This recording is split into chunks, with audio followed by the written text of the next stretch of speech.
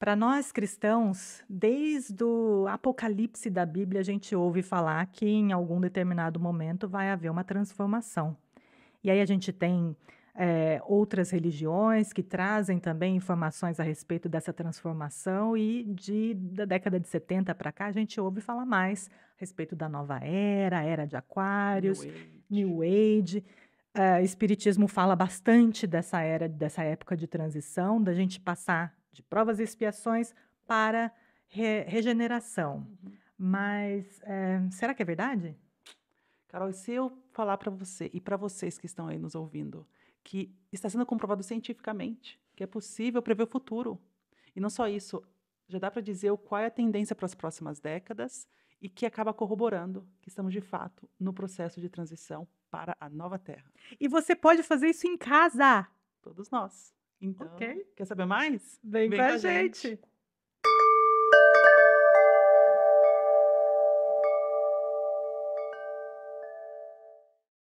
Bom, antes da gente aí mergulhar no tópico de visão remota, que é do que a gente trata hoje no vídeo, daquilo que a gente mencionou no início, vocês perceberam aí que a gente está num ambiente novo? Na verdade, é o mesmo ambiente, mais um lugar diferente. É, estamos assim, devagarinho, né, Carol? Daqui a pouco todo mundo vai conhecer a minha casa de ponta cabeça. Próximo vídeo eu no banheiro. É, a gente está querendo, obviamente, para que vocês tenham maior qualidade no, na, na, no conteúdo que vocês recebem, a gente também está querendo aprimorar as nossas tecnologias, obviamente. E a gente espera que agora, com esse, com esse upgrade da, do microfone, vocês também possam, enfim, ouvir melhor a gente. Com e... certeza. E acho que é até legal, né? Porque ó, a gente tem aqui os nossos caderninhos com as Sim. nossas anotações. Vocês estão vendo aí, talvez. Ficar né? ativamente anotando. É, Não é psicografia, zona... viu? Não é. Mas eu acho que é legal. É, no final das contas, a gente já tinha percebido desde o primeiro vídeo o quanto é, a gente poderia melhorar na questão do áudio, é. né? É, mas uh, a gente ficou lá segurando até o último momento. Enfim, tá aqui. Agora estamos aqui. É. então é isso, Carol. É isso aí. Então, bom, pessoal, vamos agora sem longas, é, é, sem delongas, sem né? Mais delongas. Sem mais delongas. Vamos então mergulhar agora no tópico de visão remota que é do que a gente vai tratar hoje para vocês, que é um assunto interessantíssimo. Gente, vocês não têm ideia. Cara, fundamental, assim, sensacional. É. é sensacional. Então não perca, vá assistir até o final, porque eu tenho certeza que vocês vão adorar. Principalmente a questão das previsões. É, o que, que irá acontecer nas próximas décadas, né? Cara, sensacional. Bom, o que, que, o que é, que é então, é isso, visão Carol? remota? O que, que é visão remota? Bom, a gente vai fazer aqui um ping-pong, né, Carols? Visão remota é uma ferramenta que todos temos acesso, que é como se, vamos dizer assim, a gente já falou tanto nos outros vídeos de consciência, de física quântica, de, todo, né, de tantos outros tópicos que acabam, na verdade, eles sempre se conversam muito bem, né, Carol?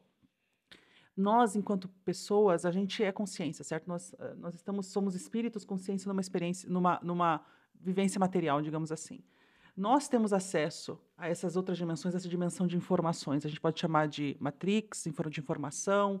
É, eu gosto de chamar de, de plano de informação, eh, um, campo de informação. Campo porque eu gosto da ideia de campo do Bert Hellinger, né, da, da, da das constelações. Uhum. E ele fala muito de campo, campo familiar, campo, uh, enfim, vários, vários campos. E eu acho que a ideia de campo, ela, ela se conecta muito com o que a ciência hoje em dia fala Perfeito. a respeito. Então, é, apesar de tantas outras terminologias, e cada um usa a terminologia que achar melhor, é, eu acho muito legal a ideia de campo.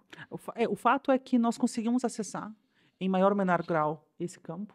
E, de certa forma, é como se a gente fizesse downloads dessas informações, né? É, que está disponível, porque o tempo e o espaço são dimensões que nós estamos aqui experienciando na terceira dimensão, né? na dimensão material. Porém, existem N outras. E é. sem a menor sombra de dúvida, esse campo de informações, ou como vocês provavelmente já ouviram falar, os arquivos akáshicos, né? Uhum. É, ele está fora, né? É, é, é está na não localidade, né? Como uhum. a gente falou uhum. no vídeo passado sobre a, a física quântica. Ele está num, num, num, campo de não localidade, o que faz com que é, dentro desse campo estejam informações, pasmem, inclusive do futuro, né? uhum. né? Tá, então ali... É, Não tem passado, falou... presente e futuro, existe né, uma coisa só. Esse assunto é um assunto que você vê, né? A gente acha que vai é, vir à tona em um momento, mas a gente percebe uhum. que a cada vez que a gente toca num, num, num, assunto completamente diferente, volta a ideia de que o tempo não existe. Exato. O tempo existe para nós aqui na uma, 3D. Uma mera, né? um modo de percebermos a nossa realidade aqui na na, é uma das, é uma das dimensões, né? A dimensão material. É. Dimensão material. Então, a primeira dimensão de todas é o tempo e espaço. Depois que vai para dois, depois que vai para três. Então, assim, a gente, a gente é, construiu o tempo e espaço dentro da nossa, uh, enfim, uh, do nosso momento, né, de uhum. evolução.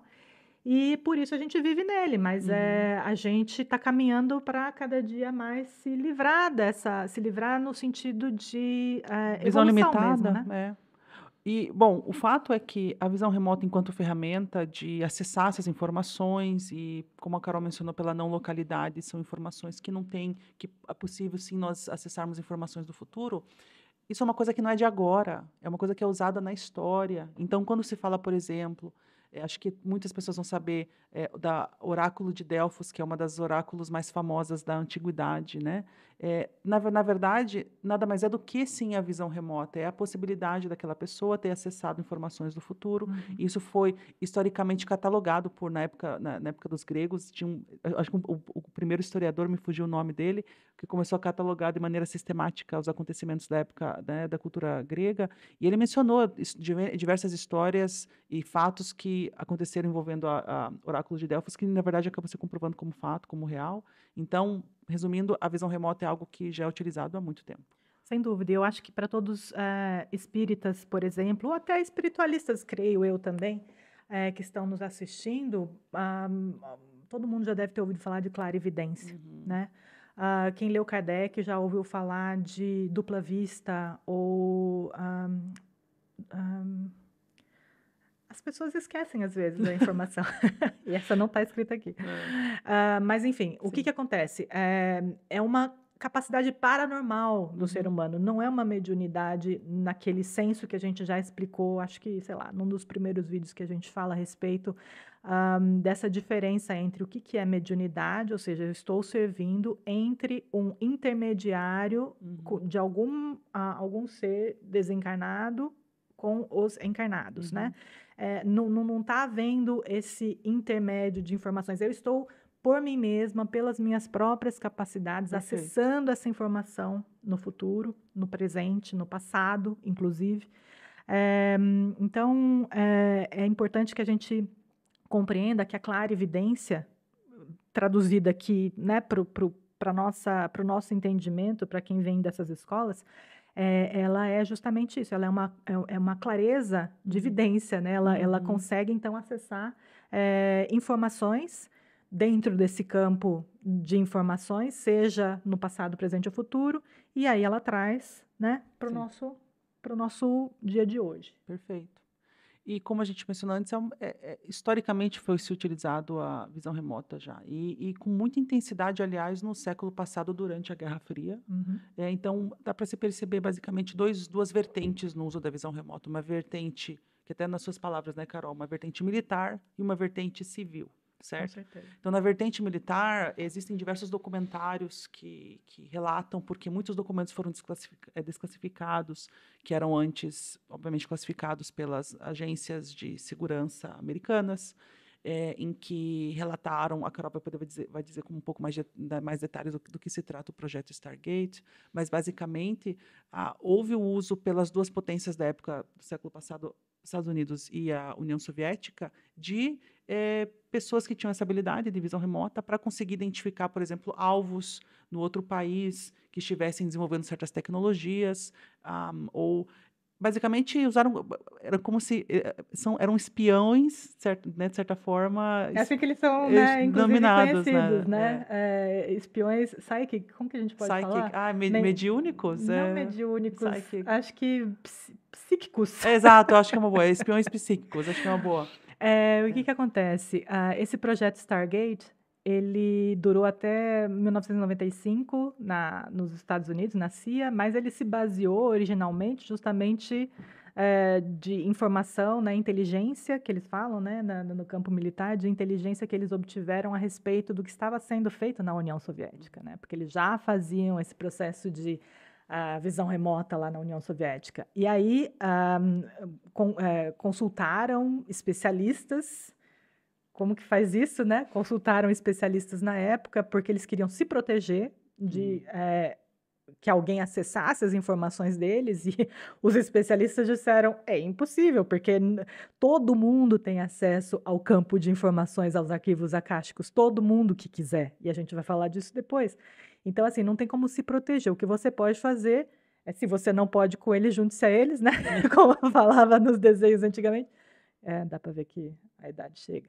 Enfim, você. Uh, e aí eles começaram, então, a, a, eh, a, realizar o projeto deles. O projeto, ele atualmente é conhecido como Stargate, mas ele já teve vários nomes, porque eles tentavam, obviamente, mascarar o que estava acontecendo. Uhum. E assim, é, é, muito interessante a forma como eles, inclusive, é, recrutavam os, é, enfim, os soldados lá, os especialistas, não, não, é soldados, né? Assim, é porque a CIA estava é, muito envolvida nisso. Eu não sou nenhuma especialista em esquemas lá americanos, né? Eu não sei se a CIA é, enfim. Mas tem uma história, tem uma história interessante que eu te interrompi, me perdoe, Carol. Tem, tem, uma, tem uma, um relato interessante que trata justamente da repartir de, recru, de como recrutar. É, não, é isso que eu ia falar. Uhum. Porque eu só queria dizer que eu não sei exatamente se a CIA é militar ou não. Imagino que sim, mas enfim. E aí, um, a questão do recrutamento, é, as pessoas que trabalham na CIA, ou naquela época trabalhavam na CIA, é, é, eram recrutadas muito pelo QI, né? muito pela, pelo coefici coeficiente de inteligência das pessoas. Então, eram pessoas já de, de, de, uma capacidade intelectual bem elevada. Uh, isso, na época, os recrutadores tinham como Ponto número um, as pessoas tinham que ter um coeficiente, um QI elevado. É, porém, isso é muito interessante porque é, essa outra capacidade, ela não é uma coisa que a gente é, automaticamente pensaria para o recrutamento de, de desses psíquicos, né, que eles falavam, uhum. um, que é uma o desenvolvimento ou o trabalho com alguma atividade artística. Ou seja, não só o lado esquerdo do cérebro bem desenvolvido, mas eles queriam o lado direito do cérebro bem desenvolvido. Ou seja, pessoas que tocavam instrumentos, que pintavam, que cantavam, que escreviam poesias, enfim. E aí eles localiz... tentaram localizar dentro do quadro de funcionários que eles já tinham pessoas com essas características. Isso é muito interessante, uhum. porque, é, pessoal, para todo mundo aí que é, tenta meditar e tem dificuldade, né? E às vezes fala, poxa vida, eu, é, eu fico lá tentando, mas eu fico com aquele macaco, né? A mente macaco que fica pulando de galho em galho, eu não uhum. consigo me concentrar. É, Façam, quem não conhece, né? Quem isso. não conhece. Faça um exercíciozinho antes, 20 minutinhos antes, coloca uma música, pelo amor de Deus, né? Cuidado com a música que vocês colocam. Coloca uma música, né, ambiente, fiquem ali só ouvindo a música. Celular, deixa lá no, no, no outro quarto, esquece o celular.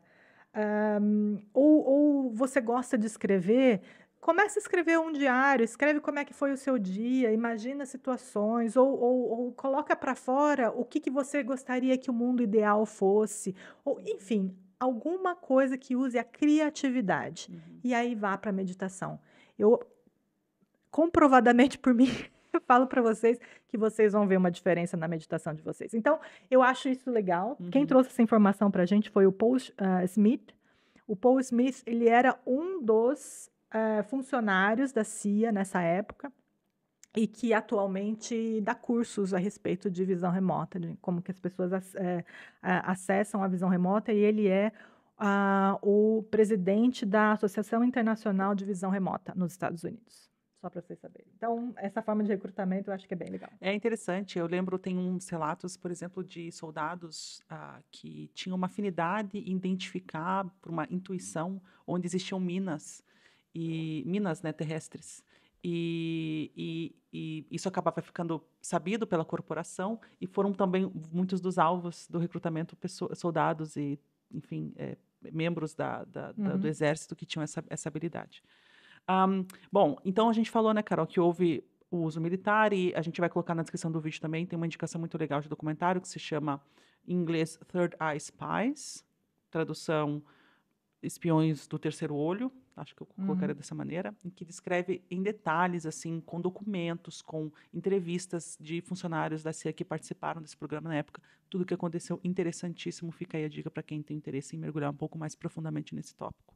Aliás, nesse aspecto, todos esses nomes que a gente vai falar, se vocês colocarem no YouTube, vocês vão encontrar é, entrevistas diversas, é, possibilidades de uhum. mergulhar ainda mais nesse assunto. Assim, a parte triste talvez seja que a maioria dos relatos, das informações são em inglês, porque atualmente a gente não tem muita, uhum. muitos uh, uh, praticantes de visão remota no Brasil, mas quem sabe com esse vídeo a gente não muda essa situação. Instiga pessoas a então, trabalharem ou se é. interessarem é. pelo assunto. Né? Verdade.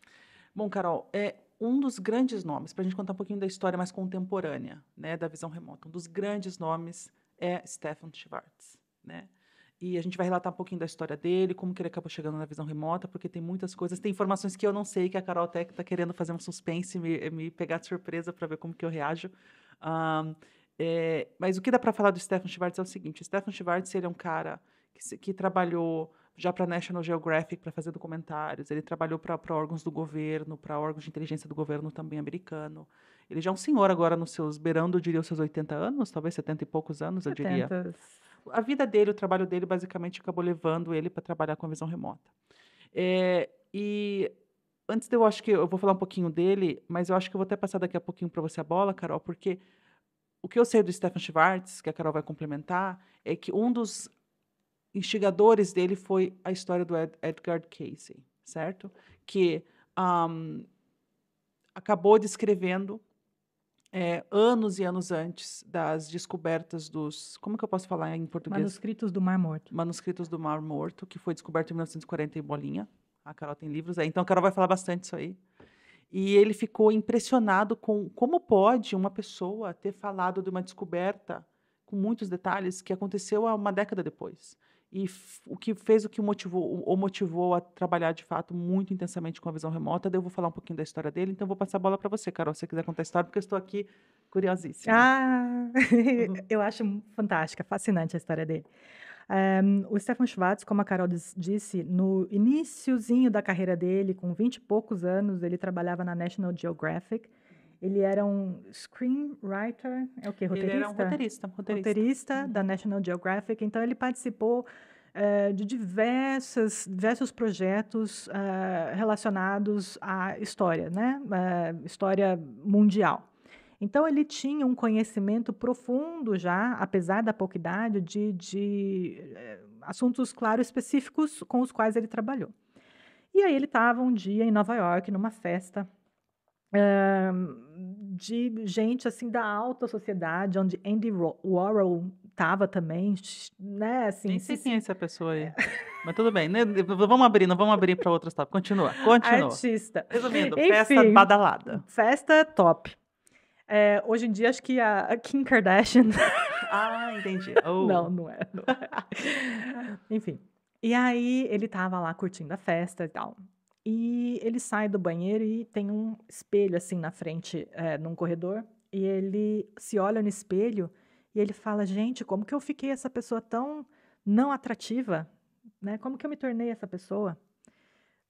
Cinco minutos assim. E ele fala, quando ele vai descrever esse processo, que ele nessa. Ele tinha vinte e poucos anos, assim, tipo 23 anos ele já tinha um super carrão conversível, ele já tinha casa, ele já tinha, sabe, assim, dinheiro não era um problema para ele. Então, assim, é, a questão material estava maravilhosa, mas ele olhou no espelho naquele dia, naquela festa e achou hum, estranho isso deu um bug assim na, na, cabeça dele, que ele pegou o carro e foi para casa dos pais dele na Virgínia, num lugar emo, lá no meio do nada, não tinha vizinhos, assim, tipo uma fazendona, assim, né? Uhum. Então, uma casa lá no meio do nada, perto de um lago, é, de difícil acesso, inclusive, a gente está falando aqui de década de 60, uhum. mais ou menos, 50, 60. Um, e ele, um dia, estava lá sentado na varanda da casa dele, pensando na vida, pensando o que, que ele tinha se tornado, o que, que ele queria ser, por que, que ele estava vivendo aquela crise, vida, uma crise, crise existencial, existencial com vinte e tantos anos. De repente, ele vê um casal chegando, caminhando na direção dele. O lugar era enorme, gente. Então, o que, que acontece? Ele olha para a estrada, não vê nenhum carro. Ele olha para o lago, não vê nenhum barco.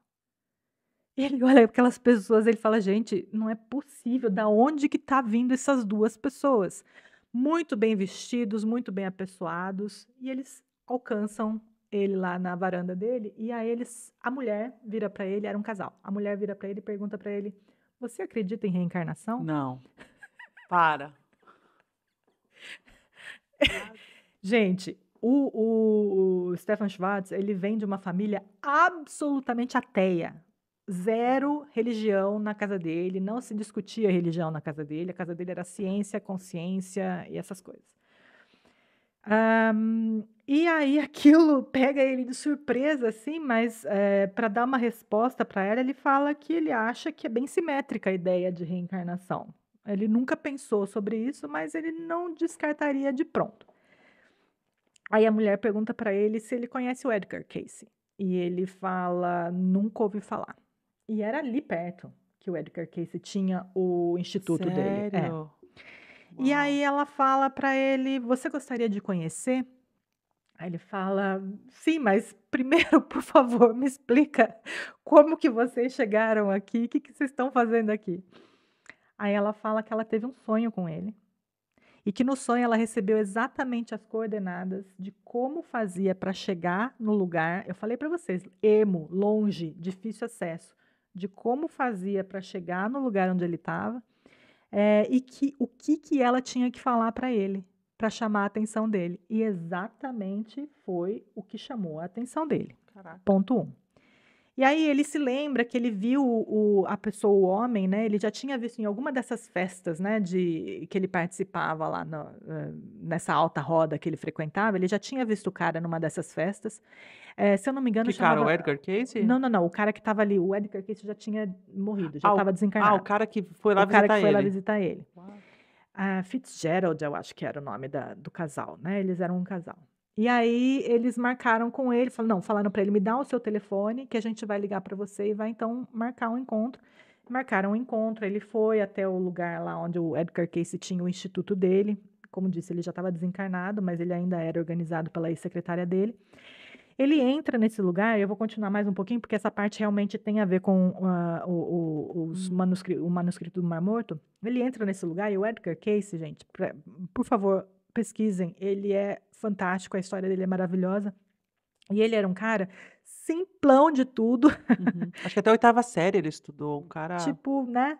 E ele trazia hum, readings que eles falam, né? Assim, é, é, leituras sobre pessoas. Então as pessoas iam até ele e ele colocava lá, ele acessava os é, registros, acásticos. registros acásticos. Aqui está um outro livro que é um livro do Kevin Todeschi, é, que foi escrito sobre o Edgar Cayce é, e o acesso dele aos arquivos acásticos. É, e ele acessava, então, e ele dava para essas pessoas que o procuravam informações a respeito de vidas passadas, por exemplo, né, de, de situações da vida delas. E aí, quando o uh, Stefan chega e entra nesse instituto, é uma sala com milhares de cadernos com esses, essas leituras escritas. Estava, é, assim, de uma certa forma esquematizado, mas era muita coisa. Então, ele pega o primeiro que ele vê na frente. Ele lá abre. Vem, lá vem. Ele pega lá o primeiro que ele vê na frente, ele abre. E aí ele começa a ler que na época dos essênios tinham mulheres que participavam do grupo dos essênios, que eles eram altamente envolvidos com astrologia, é, que eles ficavam numa montanha XYZ lá num determinado lugar. E ele ficou embasbacado porque essas informações que é, o Edgar Cayce trouxe foram, acho que em 1936, Isso. e os manuscritos foram descobertos, como você disse, só uma década depois. É, 1945, por aí. Que, que acontece? Nos manuscritos é, do Mar Morto estão realmente especificados a questão dos essênios, de que haviam realmente mulheres é, dentro das comunidades. Parênteses, coisa que era refutado, era nem discutido pela história na época, né? Porque nunca se cogitou pela história que era o caso, né? Justamente, Só um parênteses. Então, justamente. ele meio que trouxe uma informação totalmente nova que a história nunca, né? Com certeza. Uma, né, antigamente, na, né, né, na época em que ele trouxe essa informação, na verdade, ele não trouxe para o público, ele trouxe como uma leitura para uma mulher que estava sentada na frente dele, né? Então, assim, isso que faz com que até a, as informações sejam ainda mais interessantes, né? Uhum. Porque o, o, ele não estava visando um ganho de notoriedade, uhum, de, né? Uhum. Ele estava trazendo uma informação para uma mulher que estava na frente dele. E aí uh, falou para ela isso e falou da questão da, da, da astrologia, que eles eram muito envolvidos com astrologia. Uh, e os manuscritos do Mar Morto, eles trazem todas as informações que posteriormente foram comprovadas com escavações que foram feitas Isso. no determinado lugar. Então, assim, realmente é fascinante. E a partir desse dia, o Stefan Schwartz, ele ficou durante cinco anos da vida dele, ele largou tudo que ele fazia. E ele ficou assim, ele né, já estava muito bem financeiramente, apesar da pouca idade. E ele dedicou cinco anos da vida dele para ler todos ah, é os é readings, todas as leituras do Edgar Cayce. Ele se considera como a única pessoa que até hoje fez isso. Então, ele, depois dele se debruçar sobre os readings do Edgar Cayce, ele foi tentar entender um pouco mais de parapsicologia, porque ele não não era da uhum, área uhum. dessa área, né? Então assim, ele realmente, gente, antes de começar tudo isso que a gente vai falar aqui, ele foi muito a fundo de todas as informações e aí ele percebeu que ele tinha uma ferramenta na mão, uhum. né? A forma como o Edgar Cayce é, acessava esses, uhum. essas informações, que ele poderia colocar em uso. Uhum. E foi o que ele fez, né, Carol? Muito obrigada pela, por compartilhar essa história. Eu não sabia em tantos detalhes, eu sabia muito um passant, é impressionante. E astrologia, vocês sabem, é um negócio que toca meu coração. Fica a dica, a gente fez um vídeo sobre astrologia muito legal, uhum. então coloquem, vejam aí embaixo. Um, bom, o fato é que o Stefan Schwartz, como a Carol mencionou, de fato ele se debruçou então sobre essa ferramenta, né? Que ele acabou, uma outra pessoa acabou chamando de visão remota. Uh, ele chamava de visão à distância exato, na época dele. Porque, bom, enfim, a, a, história do nome é longa, então a gente uhum. não vai se debruçar sobre isso. Mas como que ele começou, Stefan? Ele foi muito, ele foi muito sagaz, espertaço na casa dele. Você viu que não, desculpa não te interromper, Imagina. mas não foi nada por acaso, né? Em, em nenhum momento as coisas. É, a gente fala é, de sincronicidades, Exato, né? É, Realmente, é. no caso dele, a vida foi levando ele para esse, esse caminho, não tem como. Não, né? não tem como. Não então, tem. assim, era o caminho dele era mesmo, né? Predestinado, né? Predestinado. E o Stefan, ele fez o seguinte: bom, eu quero ver como, que são, como as pessoas podem ter habilidade para, de fato, é, é, acessar essa informação de uma maneira não local, é, como que eu posso testar isso de uma maneira objetiva, claro? Porque o Stefan, ele mesmo fala constantemente, ele é um cara de dados. Para ele, o que interessa são dados, coisas concretas, verificáveis. Então, o que, que ele fez? No quintal da casa dele, ele criou um, uma, um quadrado, ele delineou um quadrado, dividiu em 12, em 12 pequenos quadrados. E em um desses 12 quadrados é, de terra, certo?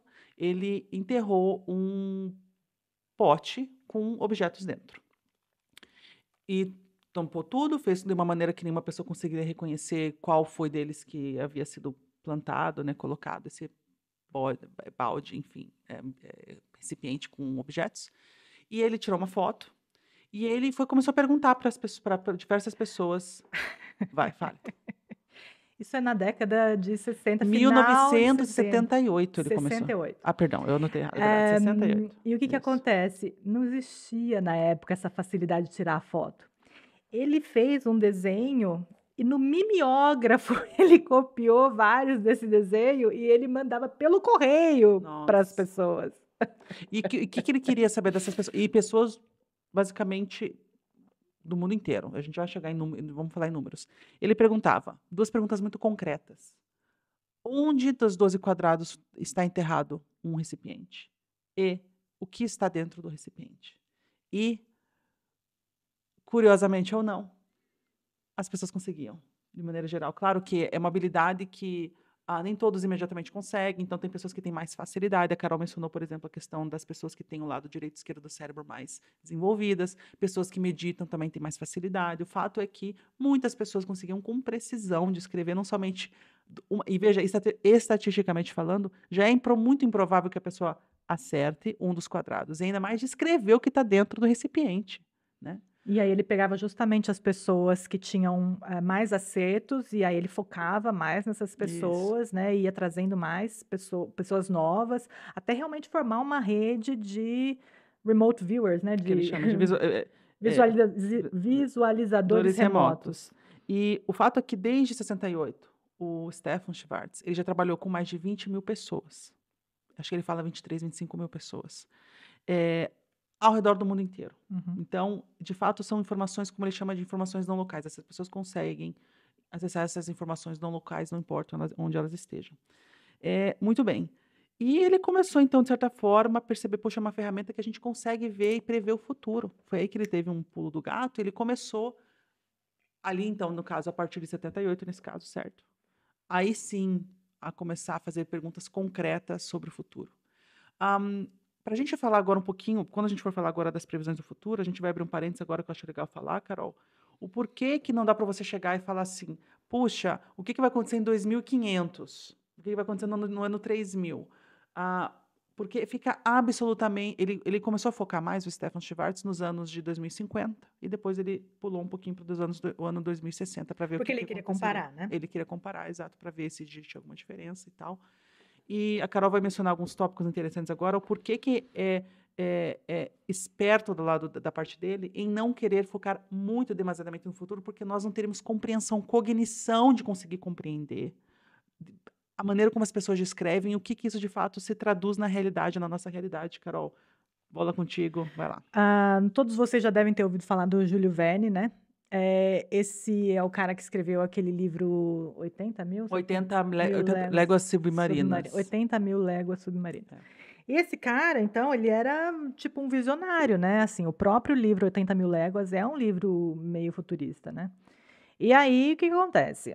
Um, o Júlio Verne, depois do, dele ter escrito esse livro, ele escreveu um outro livro é, sobre como seria Paris na, no século XX.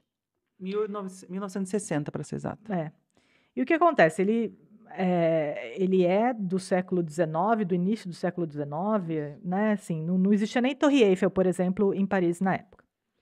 E aí ele escreve um livro a respeito disso. E aí ele relata que mulheres estariam no poder das corporações. Ele relata que existiriam carros movidos a combustão, é, é, combustão de, de combustíveis, combustíveis fósseis. Ele relata que o, o um, Paris seria conhecida por uma estrutura metálica muito grande no meio da cidade. Isso em 1800 e bolinha, quando nem se cogitava a hipótese de fazer a Torre Eiffel, tá? E aí ele, ele, ele né, mais ou menos é isso que está lá escrito no livro dele, ele leva para o editor dele, e o editor dele fala: você tá louco, isso aqui você guarda, que não tem a menor condição. Você acha, imagina, mulher no poder. Você, tá, você bebeu? De jeito nenhum, não tem como. Ah, e ele fala que as informações seriam transmitidas por facsímile. Né? Facsímile, facsímile é o nome que deu é, é, o nome ao fax, né? Que a gente não conhece mais atualmente, talvez a geração mais, mais nova não sabe nem do que eu estou falando, mas era uma forma de comunicação né, da, da, década de 80, 90, enfim. E ele fala isso, que na, na assim, o antes até do fax, né? Do facsímile. É, e o Imagina, cara. Não existia nem telefone na época, gente. As pessoas não conseguiam nem conceber o que, que era isso, como que se passava informação. Não tinha no imaginário coletivo o que, que isso significava. Exatamente, esse é o ponto. Porque aí o que acontece? É, é, a, a, como, como não existe no imaginário coletivo, e a gente uh, não dá muito valor para essa informação, porque a gente hoje já tem. Né? Então, é, fica, fica para a gente, às vezes, muito difícil de conseguir entender o, o, como que é possível que as pessoas não entendiam isso, mas, gente não, não, não, quando você não tem comparação, não tem é, como imaginar o que, que, seria aquilo. Imagina, por exemplo, lá naquela época, ou né, há 100 anos atrás, alguém dizer para você que você vai carregar no seu bolso um, um, equipamento que vai te permitir acessar todas as informações até hoje publicadas no mundo, que você vai em tempo real falar com a sua tia que mora lá na Austrália, que você vai. A pessoa ia falar, meu, você bebeu mesmo, né? Então foi o que aconteceu. O editor dele disse para ele não publicar. O que, que aconteceu? Ele pegou o livro dele, colocou num cofre, guardou e lá ficou. gerações. Ele morreu, aí a, a fazenda foi herdada por né? uma outra pessoa, e aí depois veio outra pessoa, até chegar aos dias atuais. Um dos herdeiros é, foi visitar um dos é, é, das pessoas que arrendavam lá a fazenda. Entrou na casa e viu um cofre e perguntou para a pessoa o que, que, tinha no cofre. A pessoa falou: Olha, meu pai já tentou abrir, meu avô antes dele tentou abrir, eu tentei abrir, a gente não consegue, está trancado. E ele chamou então, sei lá, alguém, e esse alguém abriu o cofre e lá estavam os manuscritos do Júlio Verne com exatamente essas informações que a gente está aqui falando para vocês de tantos anos atrás, com a correspondência uhum. entre ele e o editor para corroborar né, essa questão uhum. de ele ter sido negado. Então, realmente, esse é um dos motivos maiores de que a gente não pode ir muito lá para frente. Uhum. Quanto mais lá para frente a gente vai, mais é, perdido a gente fica. Né? A gente começa a não entender. Aliás, o próprio Stefan Schwartz ele fala de algumas coisas que fica difícil de, de compreender do que é trazido a respeito de saúde e tudo mais, enfim. Mas é, é, é, isso. Na própria época, quando ele começou a fazer as perguntas, isso em 1900, no final dos anos 80, é, início dos anos 90, quando vinham as respostas, ele não conseguia compreender. Algumas delas ele compreende agora melhor, porque ele viu o desenrolar da, da história, da humanidade, e, e, a, gente vai a gente vai se debruçar um pouco mais sobre alguns casos, exemplos agora. Mas então, precisou de anos para que ele visse o desenrolar das coisas e percebesse, ah, agora eu entendi o que, uhum. dizer, o que as pessoas quiseram dizer com aquilo. Mas vamos falar um pouquinho mais do remote viewing, da, da visão remota como ferramenta e das, uhum. das, características que ela tem, porque antes da gente ir para as questões do Carol, futuro, perfeito. porque eu acho que é, é, é, interessante a gente saber também como que a ferramenta pode ser utilizada uhum. e como que ela é atualmente utilizada, né? Um, existem duas pessoas, caso vocês tenham interesse e queiram ir atrás de cursos ou de entender melhor a ferramenta. Uma eu já falei para vocês, que é o Paul uh, Smith, uhum. que é esse cara que é o presidente da Associação Internacional, e tem um outro cara que é o Lynn Buchanan. Esse cara a gente vai escrever no vídeo para vocês, porque o nome dele é meio difícil de. Uh, é com Y, enfim, uhum. a gente uhum. vai escrever lá para vocês. São duas sumidades, sumidades mesmo no assunto. Tem uma terceira pessoa que é uma mulher, inclusive, que é a Lori Lambert Williams, que uhum. também é legal. Uh, mas, enfim, desses dois caras aqui, pelo menos eles trabalharam junto com os pioneiros uh, em remote viewing no projeto Stargate na CIA. Né? Então, por isso que são pessoas que eu acho que é interessante mencionar. Uh, e, o, e o processo de remote viewing que foi utilizado na CIA, ele foi começou do zero, com uma questão assim mais de, de, de feeling, né? de, de é, intuição e, e, e, e, tentativa e erro. E ele foi se desenvolvendo ao longo do tempo, e um dos, o maior responsável por, por esse desenvolvimento se chama Ingo Svan. Yeah, Ingo Svan. Esse é realmente o gênio do remote viewing, segundo o Lynn Buchanan. Né? Ele fala que esse cara realmente era a sumidade. Uhum. E é, ele, ele, foi, ele foi desenvolvendo a ferramenta uh, do uh, da, da uh, a visão remota controlada, porque existem va variáveis. Né?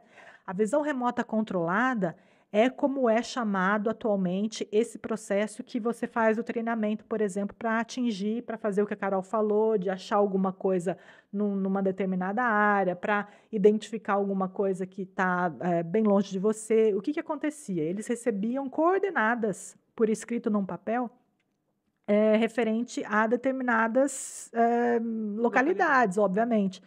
Então, assim, uh, por exemplo, voltando para a Torre Eiffel, né? Vamos dizer que eu colocava lá escrito num envelope, num papel, Torre Eiffel, o nome, e guardava lá num lugar distante. Chegava para os meus, para as pessoas que iam fazer a, a, a visão remota, e, dizia, e entregava para ela coordenadas, e aí cada um ia fazer de acordo com o que eles estavam acostumados a fazer. Então, uns iam lá escutar heavy metal, outro ia lá tocar piano. E aí eles acessavam e eles não, poder, não podiam dizer, ah, é a Torre Eiffel. Eles tinham que trabalhar com sensações e, e é, descrição do que, que eles estavam vendo. Então, é alguma coisa dura, é alguma coisa é, gelada, é uma, é uma estrutura de metal, ela começa larga na ponta e ela, e ela se afunila, né? E ela tem não sei quantos metros de altura. Então, é assim, eles não podem falar, ah, é a Torre Eiffel. Não pode. É um, é um processo né, do, do, do remote viewing. E aí, é, o remote viewing ele também pode ser usado em várias outras áreas, né? Uma das áreas que foi utilizado pelo Stefan Schwartz com muito sucesso foi na arqueologia. Uhum. É, existe um outro livro que eu recomendo para vocês, se vocês estão gostando do assunto, que chama O Projeto Alexandria, é, que fala a respeito do trabalho que o Stefan Schwartz fez é, no, em Alexandria, no Egito. É fantástico, é fantástico, porque você vai, é, ele, ele monta uma empresa, depois que ele percebe né, tudo isso, ele monta uma empresa, ele, ele já tem um grupo de, remote, de, de, de visualizadores remotos é, bastante robusto e, e, e é, capaz, né, hábil. Que ele já, já comprovadamente hábil. Uma das pessoas, inclusive, é a Hella Hamid, que é uma, se não me engano, ela era alemã, ela morava nos Estados Unidos e ela trabalhava também para a CIA. E ela veio trabalhar com ele no Alexandria, no projeto Alexandria. Ela foi, inclusive, com ele lá para Alexandria, junto com outro cara que agora eu não estou lembrando o nome Canadense, dele. Canadense, é. Uhum. E aí, é, juntos lá, eles. Primeiro que ele, antes de eles irem para Alexandria, eles mandaram né, esses, essas, essas cópias mimeografadas de um mapa lá do, do, do da, de Alexandria, sem dizer aonde era, e disseram para eles identificarem naquele mapa locais pontos interessantes e como que eram essas construções. Não disseram que era para identificar a biblioteca de Alexandria ou o palácio de Cleópatra. Um, um parênteses só, Carol, é, porque qual que é a grande dificuldade da, da, arqueologia? Obviamente, é você saber aonde existem esses, essas relíquias ou esses, esses edifícios. Obviamente que esses edifícios, por exemplo, que, que, o, que o Stefan queria localizar, estavam enterrados, as pessoas não não faziam ideia onde estavam. Eles tinham registros históricos e que existiam monumentos né, XYZ, que os historiadores egípcios um, se debruçaram e identificaram a existência, mas não a existência em registro histórico da época da, da cultura egípcia, não física. Eles estavam buscando, né? E, e, então as pessoas não tinham a mínima noção como, como iria parecer, assim, como que é um, um palácio egípcio, como quantas colunas tem, como que é os cômodos zero ideia, zero noção. E é com esse tipo de informação que, na verdade, nenhuma, eles só dão um espaço é, no mapa. Boa sorte. Boa sorte. Aonde está que o que tá monumento, tá o que, que, você está vendo, o que, que tem dentro, né? É um negócio surreal. Mas... Mas isso que é legal, porque como eles usam, é, eles usam uma, uma, técnica como Kardec usou, né? Kardec, quando fez a compilação do, da codificação espírita, ele não usou uma médium ali na frente dele, ele usava médiums ao redor do mundo e, e, ele só publicava informações que eram corroboradas por outros médiums, ou seja, é uma forma de você confirmar que a informação uhum. está correta. E ele fazia a mesma coisa. Ele só, ele, ele dentro dessa, uhum, dessa, ele import, ele mandou para vários uh, visualizadores. E aí, quando ele recebe de volta a informação, ele compila, ele pega um mapa, né?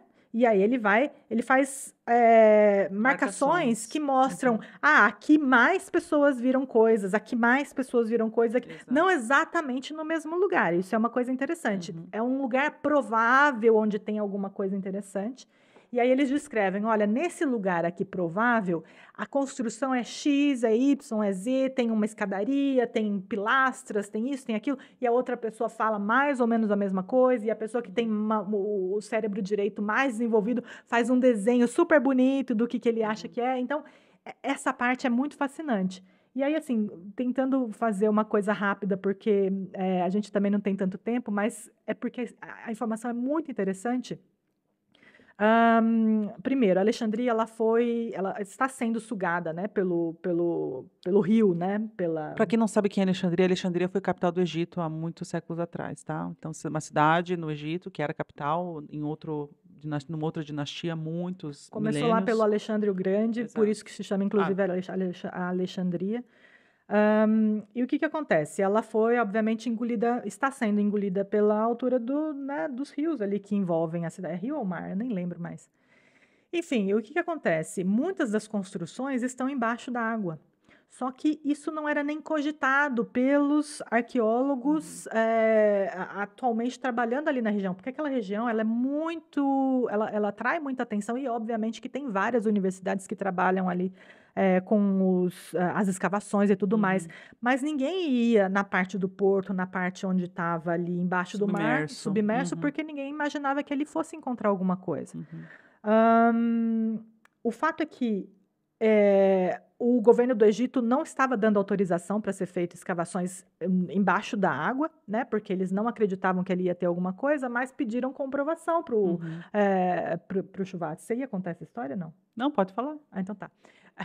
E aí eles é, então trouxeram esses dois visualizadores que estavam com ele lá no Egito e, e, e junto com um arqueólogo egípcio eles foram para um determinado local ali, ah, um pouco mais longe da, uh, da, da, onde eles estavam, porque esse arqueólogo, arqueólogo egípcio, ele estava trabalhando numa escavação ali na, na região e ele queria achar uma determinada construção. E ele falou: bom, então vamos colocar à prova esse povo, e, né? Aliás, caçoavam um monte, né? Não acreditavam, achavam que isso era piada. Imagina como pode alguém falar, né? Então, Absurdo. só vocês entenderem. Né? E aí, o que, que acontece? Esses dois visualizadores estavam lá no meio do deserto, e aí falaram para ele: olha, a gente quer encontrar uma construção que tenha é, é, mosaicos, assim, azulejos de mosaicos. Quem falou isso foi o arqueólogo, o arqueólogo egípcio, egípcio certo. que tenham assim é, mosaicos, né, e que tenham quartos assim ou assado, enfim, que tenham essas características. E o primeiro visualizador, a outra estava longe, porque é, é, eles não podem ser influenciados um pelo outro. Então, ela não estava perto nesse momento. Ele desenha na areia, assim, um lugar, e o arqueólogo egípcio fala, ah, eu sei onde é que é, eu levo vocês lá. Eles levam o cara lá.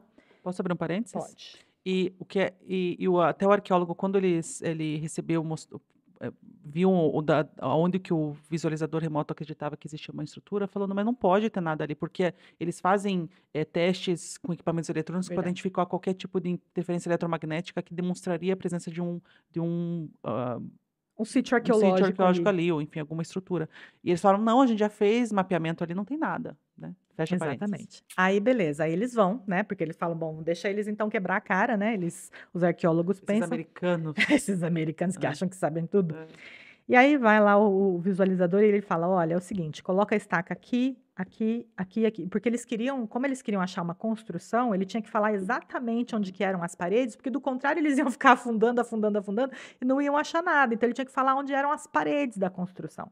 Então ele fala aqui, aqui, aqui eram as paredes e aí você vai encontrar esse, esse é, azulejo, né, de mosaico que você está falando e ainda no meio tem uma estrutura que parece algo feito de é, é, por, uh, não é porcelana, como é que chama aquela areia, aquele... É, é como barro. é que chama isso? Barro, é. Enfim, né? Enfim, você vai achar uma estrutura de barro no meio da sala e tudo mais. Eles começaram a cavar. Fizeram as mesmas perguntas para a mulher, que também estava outra visualizadora, ela deu as mesmas informações. E por, tipo, 20 inches, que eu nem sei o que, que Cara, é isso. centímetros. Centímetros. Galera, no, atenção. mas assim, ó, vamos lembrar que eles começaram no lugar a, a 70 quilômetros, é. sei lá, do, longe para caraca. Ai, Aí eles acharam o lugar e eles escavaram ah. e realmente tinha. Posso abrir um parênteses? Gente, tudo isso que a Carol tá falando, tem o site do Stefan, Stefan Schwartz, a gente vai colocar na descrição. Tem vídeo gravando mostrando tem tudo. Tem um documentário, tem um tá? documentário. Então, assim, não é que é uma coisa que a gente tá tirando do bumbum, tá, pessoal? Porque as pessoas às vezes a gente acha que a gente tá tirando. Não, galera, é registrado, é registrado tá? É então, registrado. só.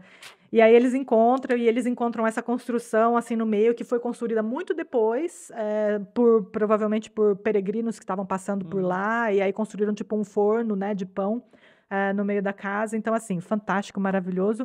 E para. Porque eu não posso deixar de falar isso. O que, que acontece? Começou uma, uma, um problema entre Oriente e Ocidente, nossa, que novidade, e aí o Schwartz teve que sair de lá do Egito. Ele não pôde continuar fazendo o projeto dele lá, pelo menos num, num determinado momento, e ele ficou muito frustrado, porque, gente, é, se você lê o livro, o processo para conseguir dinheiro, o processo para conseguir as é. pessoas que acreditem em você, o processo para convencer o governo a te dar as permissões para você trabalhar e tudo mais, é muito complicado. E aí ele já estava, né, assim, ele estava muito triste, porque eles queriam uma das coisas, eles acharam o castelo da Cleópatra, eles acharam o castelo do Marco Antônio, Marco Antônio, né? É, hum, é. Eles acharam um, o farol de Alexandria, eles acharam várias coisas, mas ele queria achar a tumba do Alexandre o Grande. Porque o Alexandre o Grande, quando ele desencarnou, quando ele morreu, ele foi levado para Alexandria pelo, pelo seu maior general, que é o cara mais responsável por Alexandria, esse segundo general dele, eu não lembro agora o nome dele, Mas e ele fez, Alexandria era uma cidade que tinha assim uma conexão de duas ruas, né, uma intersecção assim de duas ruas muito largas e bem no meio ele construiu a tumba, assim, um monumento enorme com escadas e pilares e ele estava ali no meio. O que que acontece? Ele queria achar esse bendito desse monumento e o, o, visualizador tinha falado: olha, muito provavelmente um monumento com essas características está nesse determinado lugar, mas era embaixo de uma mesquita. Uh, e eles já estavam, eles já estavam, eles já tinham permissão, eles já estavam escavando, teve que parar tudo. Tudo bem. Aí eles estão indo embora, o Alexandre o Stefan Schwartz super, né? Aí ele conversa com o visualizador dele, e o visualizador dele fala assim: fica tranquilo, é, a gente não vai encontrar os ossos, os restos mortais do Alexandre aí embaixo. Ele falou: por quê? Falou, porque no, num determinado momento aí do cristianismo, é, foram alguns ah, monges, não sei de que vertente, pegaram os ossos que estavam ali e levaram para um outro lugar, para um monastério. Então, os ossos do Alexandre não estão aí, só estaria a tumba, mas os ossos dele não. Ele fala, Ué, mas como é que você sabe disso? Ele fala, ah, porque os ossos eles foram enrolados num pano vermelho e os ossos dele ficaram manchados de vermelho. E eu sei que os ossos estão no, mon no monastério tal, tal, tal, em tal lugar. Se você for lá, você acha. É, e eles são muito característicos porque eles estão manchados de vermelho por causa do pano que estava envolvendo esses ossos. Muito bem. Aí ele ficou assim mais, né, faceirinho, foi lá, voltou para os Estados Unidos, não sei, enfim, conseguiu ir para o monastério. Um dia bateu lá no monastério, entrou, conversou lá com o, o cara responsável. E ele falou assim: Ah, olha que interessante que você está vindo justo agora aqui. É, a gente estava fazendo uma reforma, a gente quebrou uma parede e a gente encontrou alguns ossos dentro dessa parede. Cara, sincronicidade, sincronicidade é complicado. E aí ele fala que a gente acredita ser ossos do hum, é, João Batista, né? Porque era a crença deles que os ossos que estavam lá, que foram retirados da tumba de Alexandre, também eram os ossos de João Batista. Isso não tem, não, não tem nenhuma comprovação científica, não estou falando nada aqui que é ou não, mas enfim. E aí ele falou para o cara, ele perguntou para o cara assim: e você reparou alguma coisa de diferente nesses ossos? Ele falou: não. Ah, peraí, uma ossada, ela tá meio vermelha. Ou seja, nesse momento eles estão ainda, porque esse é um processo ainda que está acontecendo ainda hoje, eles estão fazendo teste de DNA para tentar ah, identificar assim, mais informações. Então, assim, só né, um parênteses para falar. E assim, o uso dessa ferramenta, antes da gente entrar na questão do futuro, ela também pode ser usada é, pra, na área médica, junto com, com, com médicos, para identificar, não só para identificar doenças, mas também para fazer diagnósticos, mas também para ajudar a melhorar os pacientes. Um, existe um outro uso que é feito atualmente nos Estados Unidos, esse mais material, vamos dizer assim, que é. é, é para investimento, para jogos, jogos, né? Previsão Por exemplo, para você, uh, a, a, empresa, a gente, né, uma empresa faz lá os seus, o seu planejamento anual, uh, a cada dois anos, cinco anos, seis anos, e eles usam os visualizadores remotos para fazer esses, esses, esses, esses planejamentos, né, para saber que direção que a empresa vai. já existem muitos sendo usados atualmente nessa área. Uh, como a Carol falou, para fazer previsão de apostas, de jogos, de ações, em que ação investir e tudo mais. Então, assim, uh, o campo é vasto. É vasto. É vasto. É vasto. Mas, bom, já acho que as pessoas estão ali já com mordendo as unhas assim, ó. E aí, como é que qual é a previsão? A previsão. Eu quero saber da previsão. Pessoal, como a gente falou, então assim, é, exemplos não faltam de sucesso em uso da ferramenta. Isso é óbvio, claro e, e cristalino. A gente relatou N casos, potências usando para fins também, enfim, mais escusos militares, uso prático, uso arqueológico. Então, assim, o que a gente está falando agora das previsões é, são, como a gente falou, assim, as tendências que são identificadas por milhares e milhares de visualizadores, visualizadores remotos, em que, re, re, repetindo, o Stefan ele fazia as perguntas lá no final dos anos 80, 90, na época ele nem entendia o que isso queria dizer. Então a gente vai fazer essas pontes também.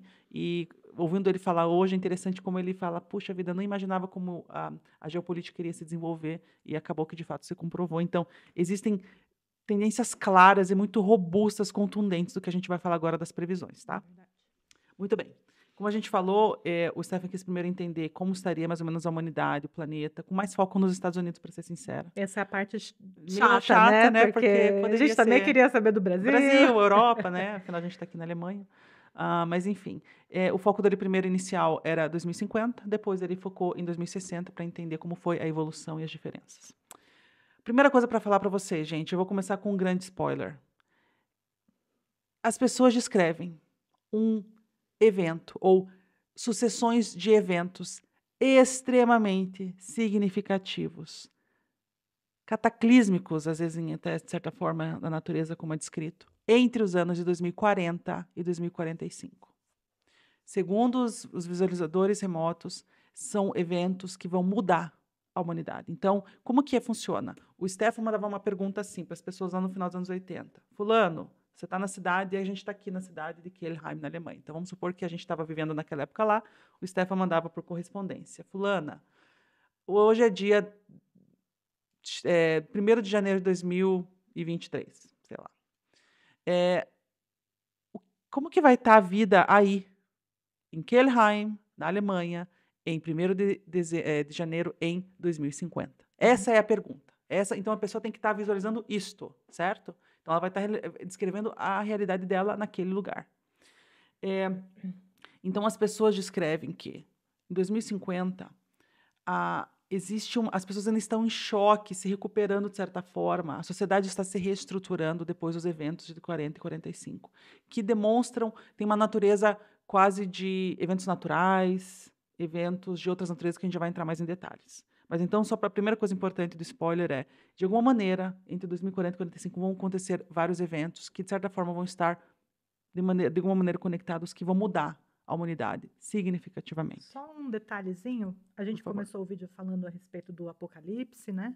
É, essas informações não são nenhuma novidade e a gente não está aqui querendo causar medo, furor, é, furor, sensacionalismo importante. Sensacionalismo, é importante, não é. é isso.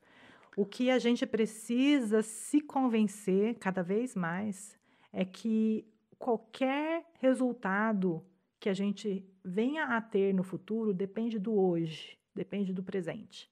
É, é, fundamental a gente compreender a importância das atitudes atualmente para que o futuro se torne uma coisa mais palatável, menos é, é terrível nesses termos e o fato é que o homem ainda não aprendeu, né? Então a gente é, acaba que por um cataclismo, por um, uh, uma pandemia, como a gente viu né, recentemente, por esse tipo de situação, a gente é forçado a mudar, hum. a gente é forçado a transformar. Hum. Então, nesse aspecto, gente, é, é, faz parte e não esqueçam, a gente não morre, ninguém morre, tá? Então, a uhum. gente.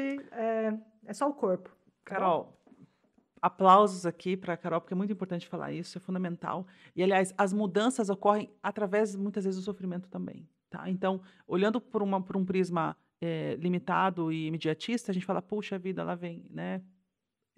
experiências complicadas, como a gente passou, por exemplo, como a Carol falou, com o Covid, mas sem lembrar o tanto de coisa boa que isso também nos trouxe. Então, sempre ver com esses olhos positivos. Vivemos em ciclos, é, as mudanças são necessárias, então é importante falar, isso é muito importante. Agora vamos então agora para questões objetivas, claras, de que maneira que mais ou menos como vai ser aquela realidade lá nos anos 2050. Primeira coisa, poucas viagens de avião, as pessoas vão estar vivendo muito regionalizadas, muito na, na, vivendo em comunidades. É, você fala muito em viver em comunidades de maneira muito mais sustentável, muito mais sustentável. Então, a questão das viagens de aviões vão, vai ser muito mais reduzida. É, bastante foco em trens, transporte coletivo mais né, sustentável.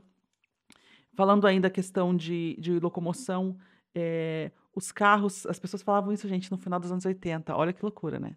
Os carros, primeiro 78 que... Começou. 78, é. é. Que é, fala que não existiria mais motor a combustão. Então, iria, iriam para foco muito em energia solar e de vento não existia sequer na época cogitar não a hipótese de Então imagina milhares de pessoas no mundo inteiro falando disso, como, quando, né? Ai, fala das estradas, que eu acho tão fascinante. Ah, sim, com certeza, é o próximo tópico. Então, a energia, bastante produção de energia solar e vento, e os carros estariam sendo é, carregada a bateria desses carros andando nas ruas, nas estradas. É, a estrada tem uma uma tecnologia de carregar, de, de dar energia para o veículo. E não é interessante porque tem estudos muito atuais, acho que é na Universidade de Stanford, que fala justamente de carregamento de energia pela. pela o, o carro vai carregando conforme ele vai andando na rodovia. Então, está se é desenvolvendo já essas tecnologias. Então, a gente vai estar tá lá, de certa forma, experienciando isso já.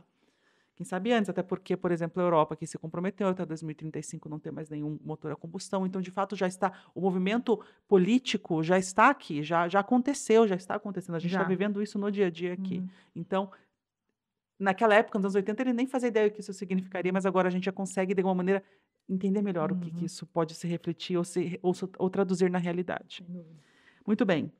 É, ele relata também a questão de pandemias, várias pandemias, que isso lá não, né, repetindo no final ah, do, explica do, do passado. Hum, de como que ele chegou né, na, na questão das pandemias, Fala, né? pode falar. Não, não, você.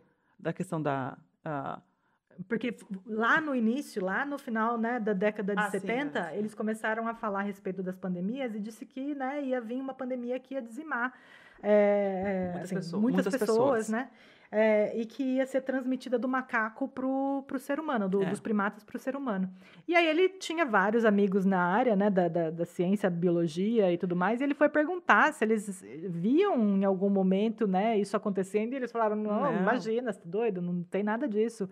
E aí vem a AIDS. Deu três anos depois, galera. Três anos depois, infelizmente, veio a, né, o evento da AIDS. Exemplo. É. E, com certeza, é um exemplo ótimo. E, poxa, a gente já viveu, né? Teve a, a, a pandemia da SARS, H1N1, claro, Covid, que foi. É, não precisa nem falar, né? Todos vivenciamos, experienciamos a, a, é, a essa pandemia.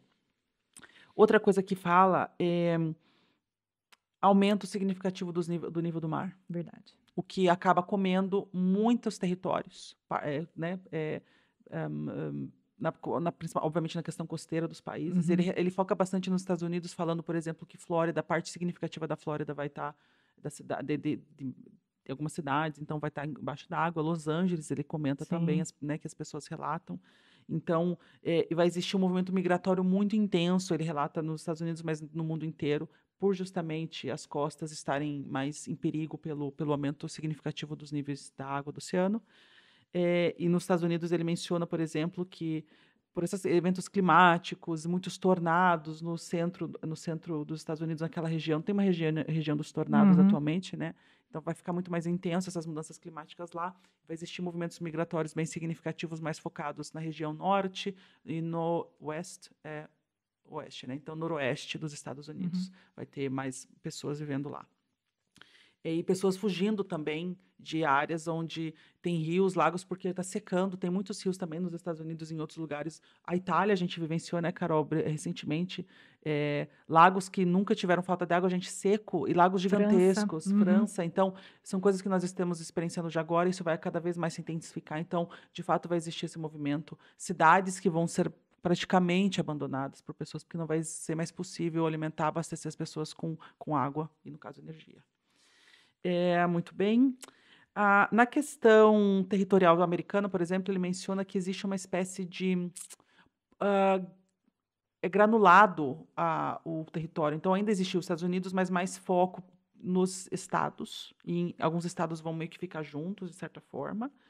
É, na questão de a nível mundial de poder sobre as a óptica humana atual meio que materialista, enfim, Estados Unidos vai perder um pouco do posicionamento deles e vai pender mais para a China. Uhum. Gente, a China não era considerada é, potência nos anos 80. Era a União Soviética. Aliás, uma das coisas que ah, mais, uma das coisas que mais o Stefan ficou surpreso na época que ele perguntava a, a essas perguntas, né, fazia essas perguntas, era Pô, e a União Soviética, vai existir a União Soviética, vai ter uma guerra nuclear, vai acontecer uma, uma guerra nuclear, um, um inverno nuclear. As pessoas, falavam, as pessoas falavam, não, não vai nem existir, não, não, não existe tem mais a União, União Soviética. Soviética. o que, que você está falando? Ele falava, como isso é possível? Porque na, na realidade deles na época, existiam os dois poderes, Estados Unidos, Ocidente, a União Soviética, Oriente. E jamais considerava a possibilidade da União Soviética cair, que aconteceu em 1991, que jamais consideraria a hipótese da China se tornar uma potência. Uhum. A China, na época, não. não Agrária, tinha... imagina. Exato. Nada. Então, olha como são as coisas, e coisas que a gente já percebe atualmente, geopoliticamente falando.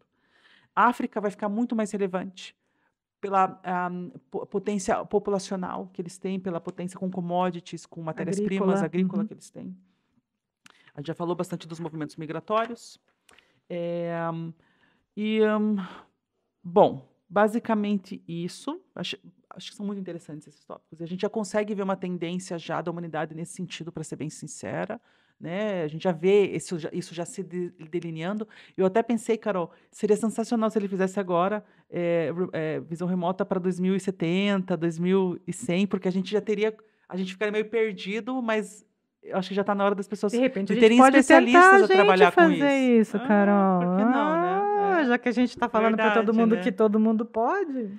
Outra coisa que é interessante, antes de falar um pouquinho dos anos 60, 2060, a questão de saúde, por exemplo. As pessoas vão trabalhar a saúde de uma maneira muito mais holística, é, muito mais energética, menos a medicinal tradicional atual, contemporânea, da maneira como a gente vive, né, a, o sistema é, médico atual, que está fadado ao, ao cataclisma também, ao fracasso, honestamente, né?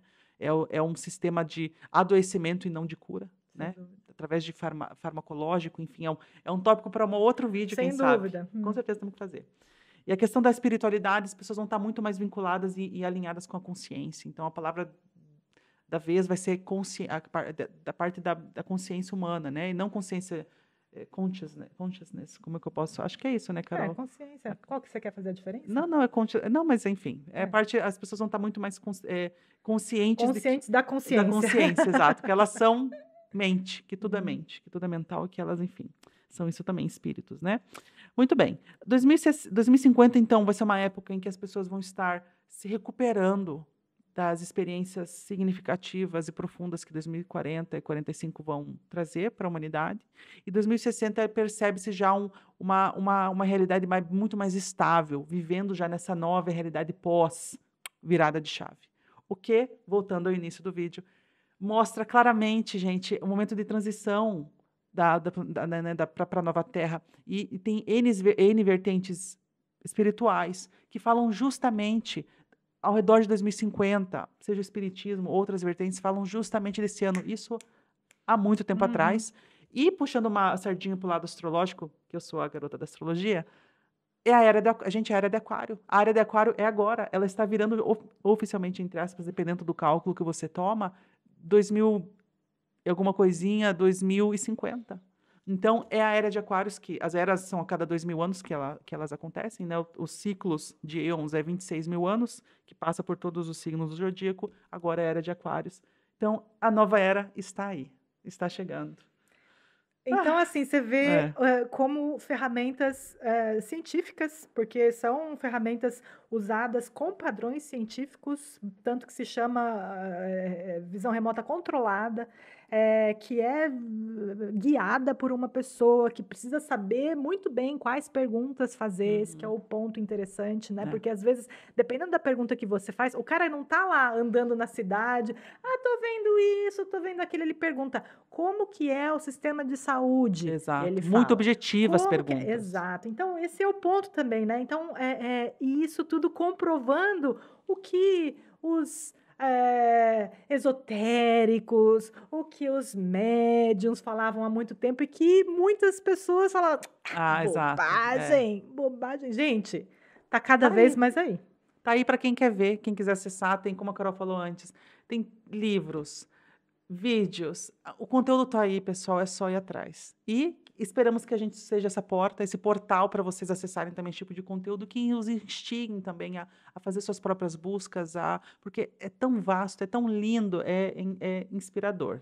E que a gente possa fazer a nossa parte para transformar em nova terra. A gente quer trazer, promover Perfeito, a nova terra. Uma terra onde haja mais paz, fraternidade, é, colaboração, uhum. interação, é, com amor, com respeito, respeito a tudo, gente. Não, uh, a, a, cada um tem direito de ter a sua liberdade como bem achar melhor. Obviamente, a gente tem aí algumas coisas que a gente pode é, falar, mas quanto mais você age na sua liberdade, dentro daquilo que você se vê como, como sendo a sua paixão, o seu amor, vive a sua verdade, mais a gente vai ter é, possibilidades uhum. de, de beleza, de crescimento, de, uhum. de elevação, né? Então. É isso, respeito, esse é o convite. Esse né? é o né? convite para vocês. Vamos construir a nova terra, vamos, vamos fazer a nova, a nova terra no nosso dia a dia. Então é isso, Carol.